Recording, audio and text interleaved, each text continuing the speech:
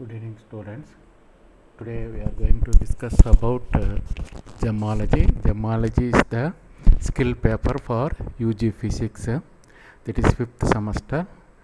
First skill paper. Right? Okay, gemology is the study of gemstones. So we are studying about different kinds of gemstones. So these gemstones are used in different uh, fields right? Not only wearing ornaments as well as in medical field also it is mainly applicable nowadays to produce uh, sound effect as well as healing effect. So different kinds of chakras are there in our body. So based on that uh, we are uh, using that is a different kinds of gemstones right? So we are dealing about uh, different kinds of gemstones where it is applicable right that uh, we are going to discuss. So in this chapter uh, why we want to study that is a gemology that we are going to discuss as well as uh, in the current topic i am going to explain about uh, how gems are forming. What are the methods are there to form gems what is the reason behind it? So these are the questions you can raise and uh, answer also you can get it with the help of this topic right? Okay now we will start that is a gemstone.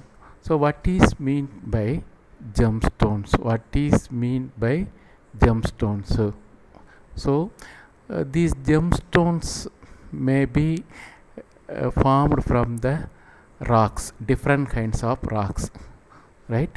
You might be knowing in lower classes you might have studied that is a different kinds of rocks sedimentary rocks igneous rocks and uh, metamorphic rocks like that uh, you might have studied. So from these rocks only these crystals are forming. That is the gemstones are forming. So how it is uh, forming sir that is the uh, idea uh, you are going to land. See actually uh, the rocks inside the rocks so many sediments are present so many sediments are present. Yeah the sediments only forming as a crystal. So it sediments consists of uh, uh, that is a minerals different kinds of minerals. To form a crystal we need of first one is basic is uh, space some phase we required then temperature heat we required then atmosphere air required then volume is another factor to form a crystal. Volume is a another factor to form a crystal right? So that is the case we are going to discuss right?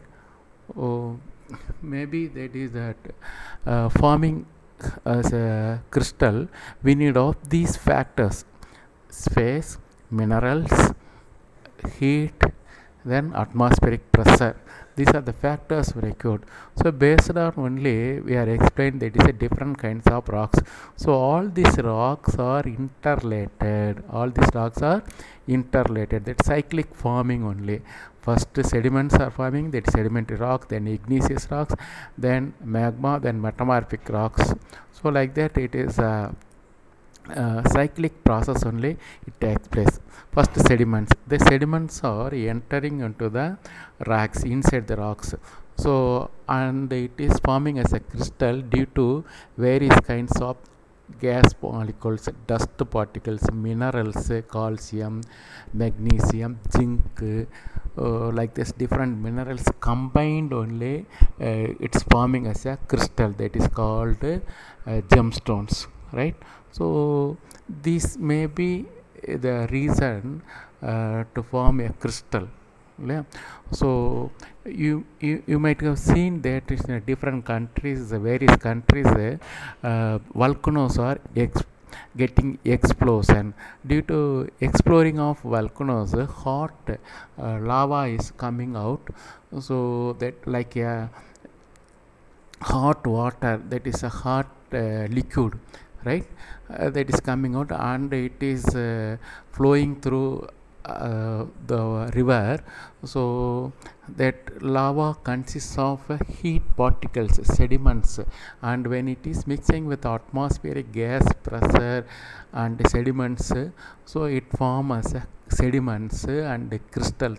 And when it, it is entering into the rocks inside the rocks it up to it goes to uh, earth's crystal uh, earth's mantle earth's crust so depends upon the temperature depends upon the pressure heat volume everything is it depends the sediments uh, of materials. So it entering and some materials uh, filtering itself some materials it goes deeply. So this is the case to form as a different kinds of crystals right? Uh,